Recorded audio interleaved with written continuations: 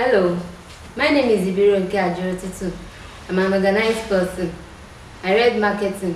I'm an end user. I have ability to work in a reputable organization to meet your expectation. I've worked as a front desk person and as an office assistant. My, my responsibility is to take guest order and to take stock.